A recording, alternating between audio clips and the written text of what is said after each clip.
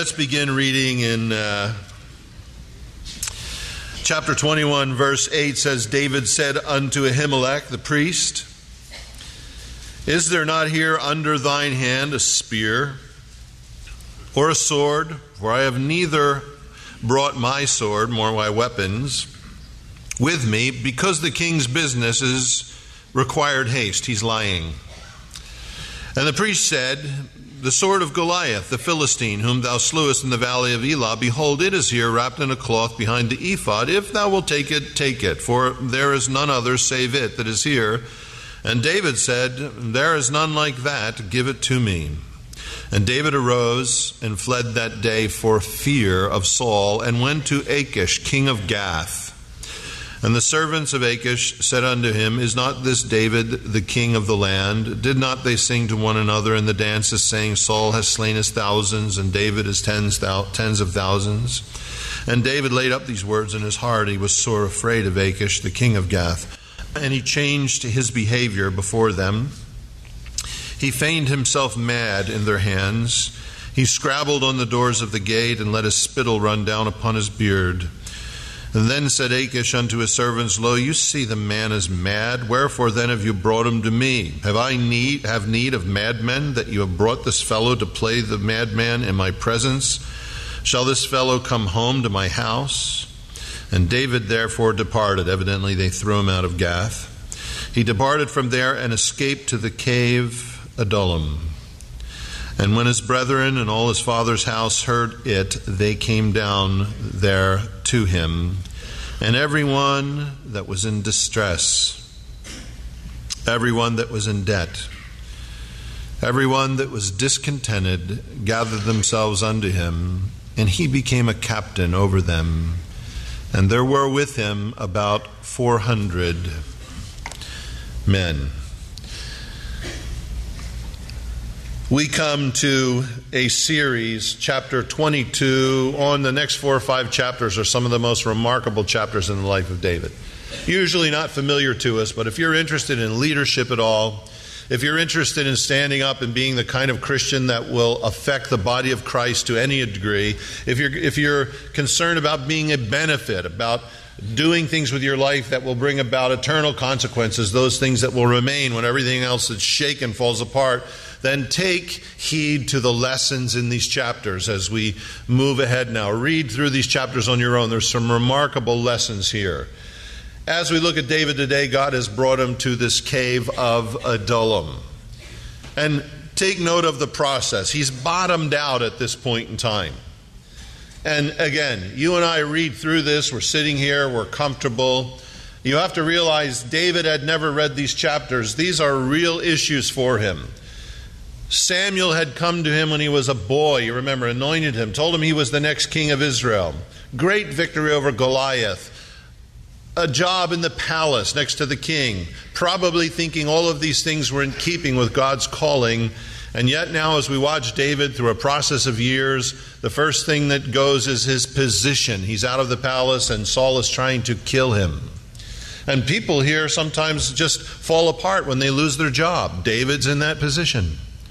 Not only that, he goes home. He loses his family. He can't go to them. And his wife betrays him. When we have folks here in counseling whose home is falling apart, if there's been adultery, they're in a process of divorce, their lives are in a shamble. We read through these things. Imagine this is another weight that's placed upon David now. His own wife has betrayed him. He's lost his home, his family, his marriage. He fled to Samuel. And he couldn't stay there with Samuel because the army was pursuing him, and he leaves off his mentor, his counselor, behind comes to Jonathan, his best friend, and can no longer stay with him, and is left friendless as he flees now. And he comes to Nob, to where the tabernacle was. Ahimelech, the priest, is there. And he lies to Ahimelech. He says, The reason I don't have a sword is because King Saul sent me out on business. It was hasty. I didn't have time to pack, to get my armor, to get my sword. And lies to Ahimelech. And it Ahimelech and his family are going to be killed by Saul, thinking that he's involved with David. And somehow Ahimelech says, Well, I have here Goliath's sword, whom you slew. David says, I'll take that one. There's none like that. Imagine David with this big sword dragging on the ground now behind him. So you see, somehow, under the pressure, and you know what? Understandably, David's lost track of his sling.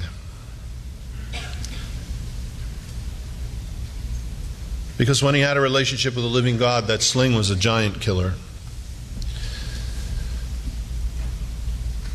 And through his life disintegrating, through pressures that we read about, but maybe some of you, they're heartfelt for you today because you're going through a portion of these things. Imagine, David, all of them are piled up at once. He's now lied to the priest. He's running in fear. He's lying. He's lost track of the living God. And he makes a major blunder. He flees to the Philistine country he runs to Gath, Goliath's hometown. Imagine this David's trying to escape. He runs into the gates of Gath with Goliath's sword dragging on his side. And the people in Gath said, Wait a minute. Aren't you the guy that helped produce that hit song, Saul has slain his thousands and David has slain his tens thousands? Aren't you that guy? And you know, sometimes I think people get so discouraged and, and, filled with such despair and, and they're so confused and disoriented about what the Lord's doing in their life, they go back to the unsaved world. They go back to the bar. They go back to the enemies of, of God's people, as it were. They go back to the unsaved territory. They go back to the old haunt. And when you have the unbelievers challenging you, aren't you the champion of Israel? Aren't you David, the giant killer? Nope, nope, nope, nope, nope. You know, he, I mean, when the unbelievers start to reprove you because your lack of faith, you've hit rock bottom. Weren't you one of those Bible thumpers? Didn't you tell us Jesus was sufficient? Didn't you tell us we didn't need to do Here you are.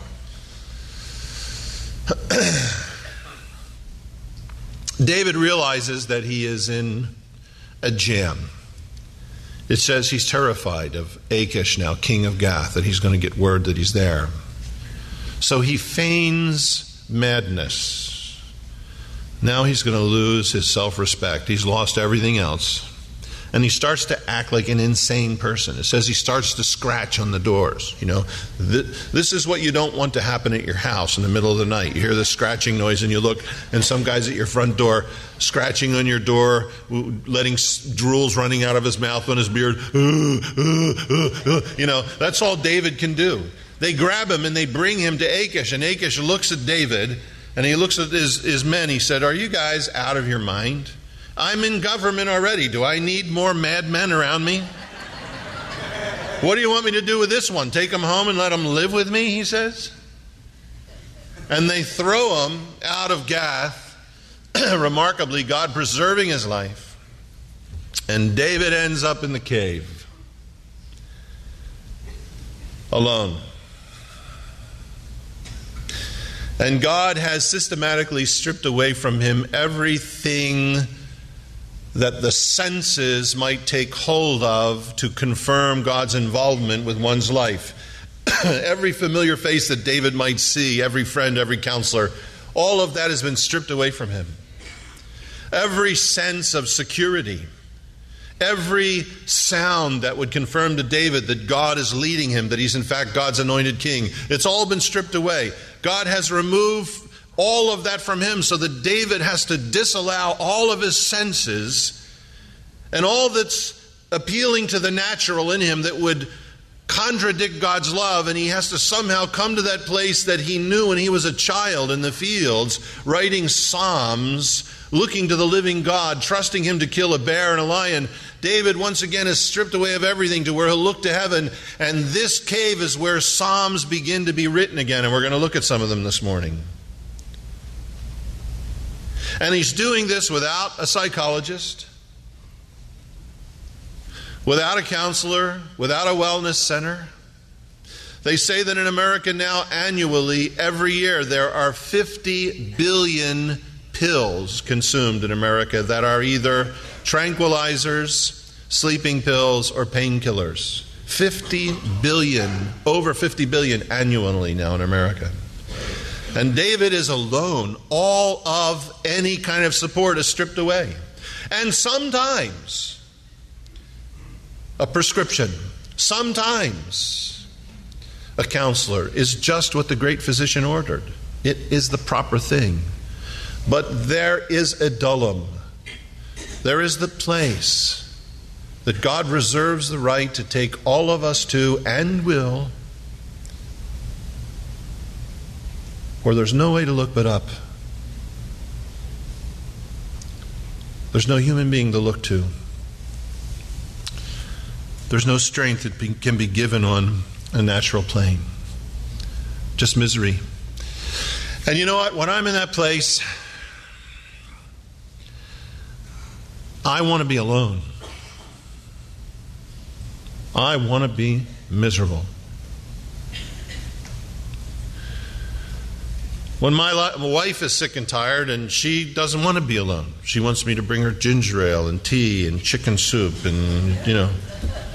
When I'm miserable, I want to be alone. I want to be extremely miserable. Nail my door shut, don't talk to me, because I'm hardly ever miserable, so when I am, I want to do it right. And I want to get it all over with at once. I want to be intensely miserable. If you hear a sound coming out of the room, don't unlock the door. Don't come in. Some of you understand perfectly. And it says, David, as he's in the cave, 400 people come who are distressed, which simply means stressed out.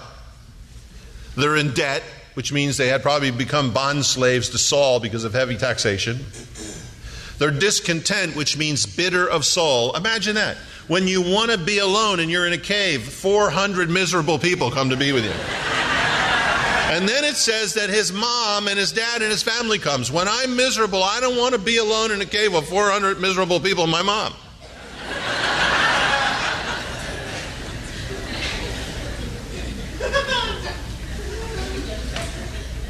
I want to be alone.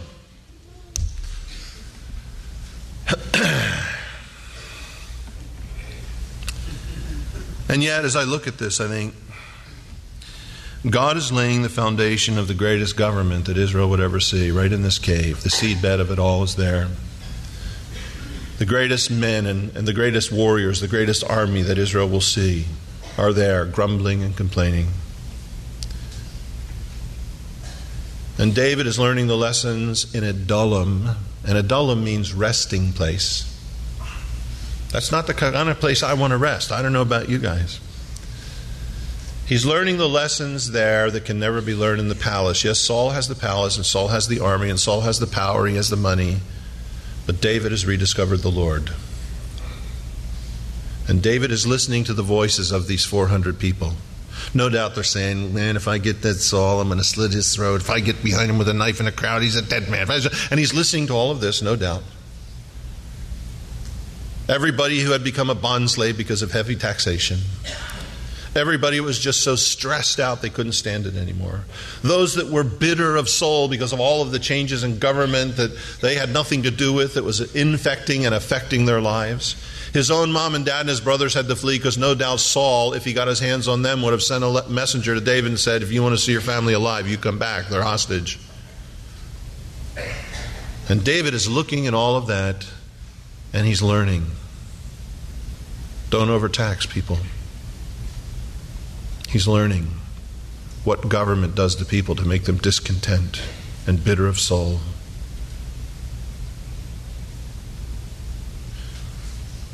And he slowly will take these discontented hearts and turn them around. We're going to look at that. And who better to lead than somebody who had been abused by government? Who better to lead than somebody who understands liberty? Somebody who understands the rights of the people under a government. They were all there.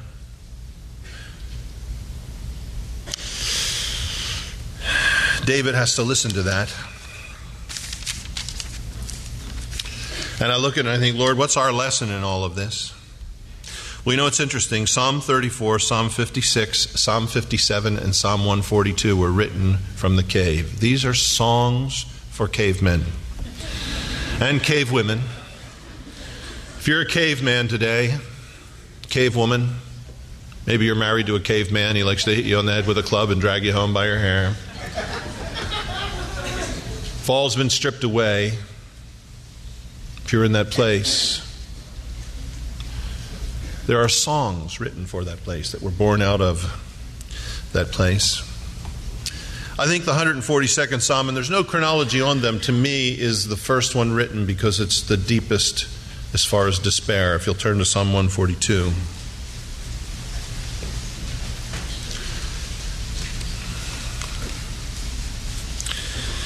It's the last of 14 Psalms that say Maskil, which means instruction. There are 14 Psalms that are songs of instruction. This is the last one of those in the Psalms. It says Maskil of David, a prayer when he was in the cave. If you take note of the heading of some of these Psalms. Important for us to see the, the musing and the searching of David's heart in this time because he survives. How do I survive my caves, Lord? Whether it's a cave of sickness or a, a, cave of despair, or a cave of despondency and depression, Lord, a cave. How do I survive my Adullams, Lord? How do I turn them from an empty, rocky cave to a resting place? Let's look at him and see what he says here, his heart.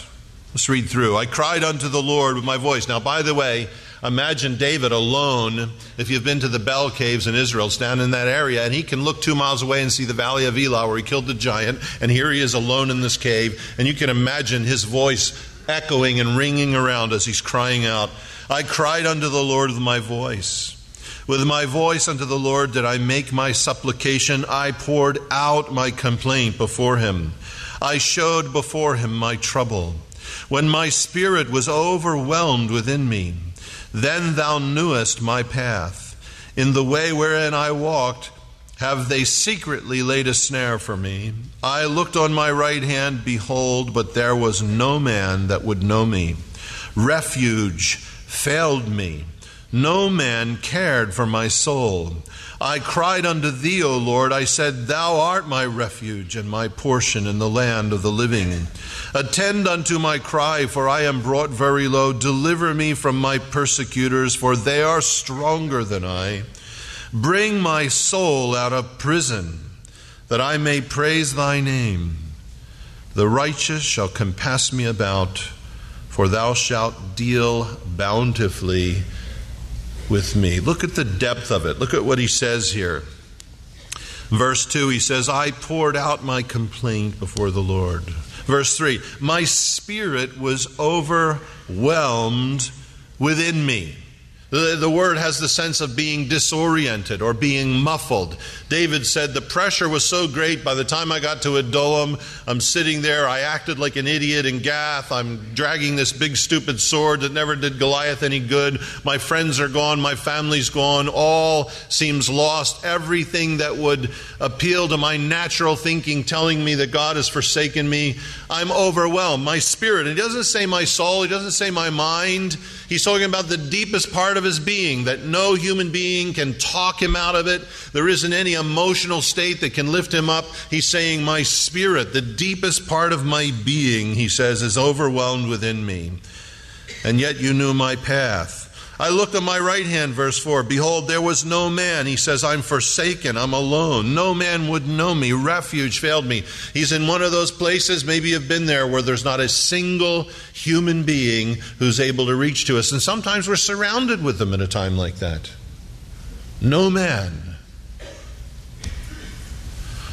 would know me. I was without refuge. Look in verse 6. Attend to my cry because I am brought very low. That's depression. And that gives the sense of it, putting a, a dent into something. I am brought very low. That's the point. Some people turn to suicide, to drugs. I am brought very low.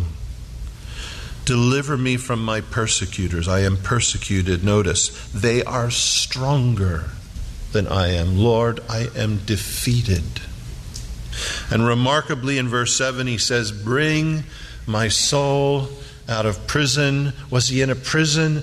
David's soul was incarcerated by despair. David couldn't escape what was going on inside of him. The prison existed within his heart, within his mind, within his thinking, all the way down to his spirit, to the depth of his being. He said, Lord, bring me out of prison.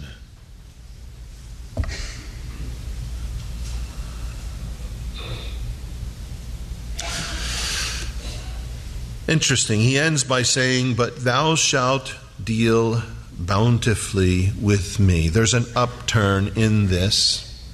What is the answer? Well, it's a song of instruction. Look in verse 1. I cried unto the Lord with my voice. He literally cried unto the Lord. With my voice unto the Lord, I made my supplication. I poured out my complaint before him. This was not a 10 minute prayer. This may have gone on for days. I poured out my soul before the Lord. I showed or I opened up before the Lord. I cried unto thee, O Lord.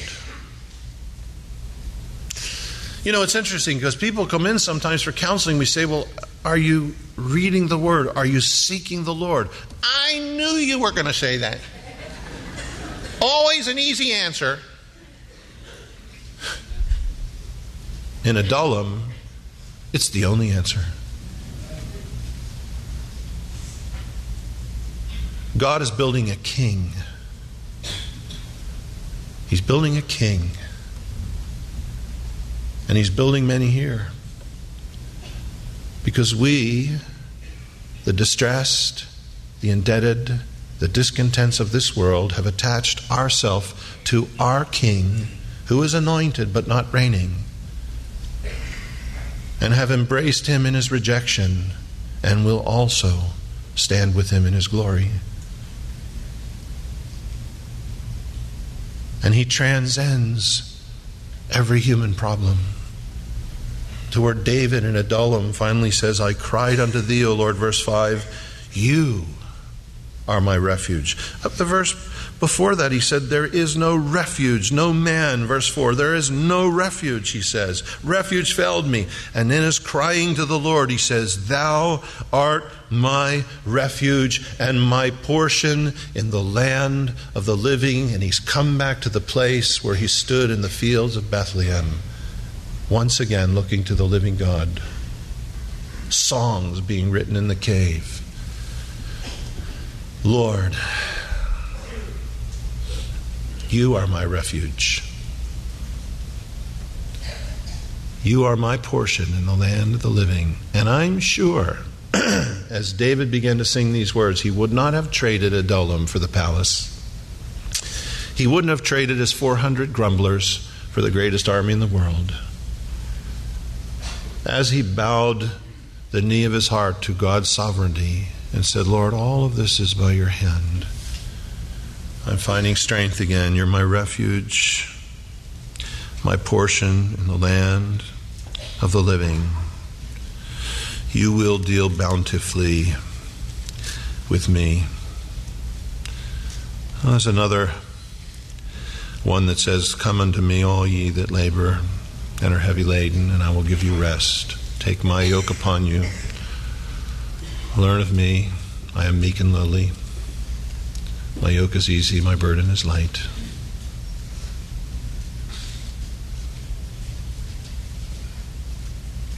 Psalm 56.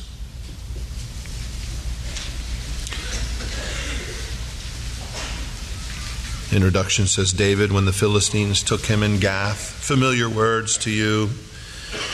Put them in their setting now. Understand where they're written from. Be merciful unto me, O God, for man would swallow me up fighting daily. He's oppressing me. Verse 3 says, What time I am afraid, I will trust in thee. Verse 4 In God I will praise his word. In God I have put my trust. I will not fear what flesh can do unto me. Look down in verse 8. Lord, you tell all of my wanderings, you know all of my steps.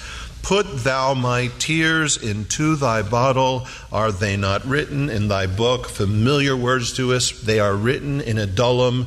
They are written in the reality of pain and despair and loneliness. And David looks to the living God and says, Lord, you know every one of my tears individually. You haven't left off from me. You're as intimately involved with my life as you have ever been. And every single tear is recorded, Lord. You know all of my wanderings, you know all of my steps. I won't fear what man can do unto me. In thee will I sing, I'll praise your name. Look to Psalm 57, familiar to us. Remember, it's from Adullam. Verse 5 says, Be thou exalted, O God, above the heavens. We sing these words. Let thy glory be above all of the earth. They have prepared a net for my steps. My soul is bowed down. They have digged a pit before me in the midst whereof they are fallen themselves. My heart is fixed, O God, my heart is fixed. I will sing and give praise. Awake up, my glory, awake psaltery and harp. I myself will awake early. I will praise thee, O Lord, among the people. I will sing unto thee among the nations, for thy mercy is great unto the heavens, and thy truth unto the clouds. Be thou exalted, O God, above the heavens. Let thy glory be above all the earth. I would like to have heard this bouncing around the inside of that cave. Psalm 34.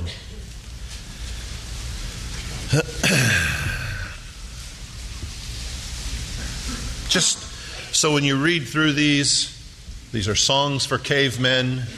When you're bottomed out, go to these songs. Remember the context they were written in. I will bless the Lord at all times. His praise shall continually be in my mouth. We've sung that. My soul shall make her boast in thee, O Lord. The humble shall hear thereof and be glad. Look down in verse 7. The angel of the Lord encampeth around them that fear him and delivereth them. Written from Adullam. O taste and see that the Lord is good. Well, that's why everything else had been stripped away so he could say those words again. Blessed is the man that trusteth in him, speaking to his distressed army. Blessed is the man that trusteth in him. Oh, fear the Lord, ye his saints, for there is no one in them that fear him, speaking to the debtors that are in the cave with him. The young lions do lack, they suffer hunger, but they that seek the Lord, shall not want for any good thing, speaking to the bitter of soul, the discontent. Come, ye children. Imagine David. Four hours of sword practice, two hours of bow and arrow practice, and five hours of Bible study in the cave. Listen to him talking to these 400. By chapter 23, there's 600 men that have surrounded him. Come, ye children, hearken unto me. I will teach you the fear of the Lord. What man is he that desireth life, that loveth many days, that he may see good? Keep thy tongue from evil. Man, is that what I want to do when some Saul is hassling me, when I've been driven to despair? That's why David's government and his army would experience the greatness that it would because they learned these lessons in Adullam. Keep thy tongue from evil and thy lips from speaking guile. Depart from evil and do good. Seek peace and pursue it. For the eyes of the Lord are upon the righteous, and his ears are open to their cry. Imagine a cabinet and a senate and a congress that this is their theme song, and this is the truth that they walk in. The face of the Lord is against them that do evil, to cut off the remembrance of them from the earth. The righteous cry, and the Lord heareth and delivereth them out of all of their troubles. What a great beginning! What a terrible place! What a tomb of despair! What a prison house he's in on one side. And in the physical, as he looks around at all of the things that are breaking his heart. And yet, on the other side, what starts to be born out of that? As David again looks to the living God, as David remembers, as all of these things begin to flood back, as he cries out in his despair and his distress, and saying that his soul is overwhelmed, but he says, In that I cried to the Lord. That's the point of the whole thing. I poured out my soul before him, and the Lord heard me. I began to get up early. Lord, I realize that all of my wanderings, you know them all. Every one of my tears, Lord, are not lost. I'm not sobbing alone, broken, forsaken. You know every tear that I shed. Oh Lord, I'm going to get up early with my harp. I'm going to sing your praises. Be thou exalted, O Lord. Oh, taste and see that the Lord is good. Mercies endure forever. Oh, ye children of men, would you learn of the Lord? Do you desire long life and good days? Keep your tongue from evil. Don't give yourself to revenge. Trust in Him. Know that He leads. His ears are open to the righteous. That He knows the way of the wicked and He'll remove the remembrance of them. Songs for cavemen. a Adullam, a prison house, or the place of rest, depending on what grid we put it through. I encourage you today, I'm going to have the musicians come.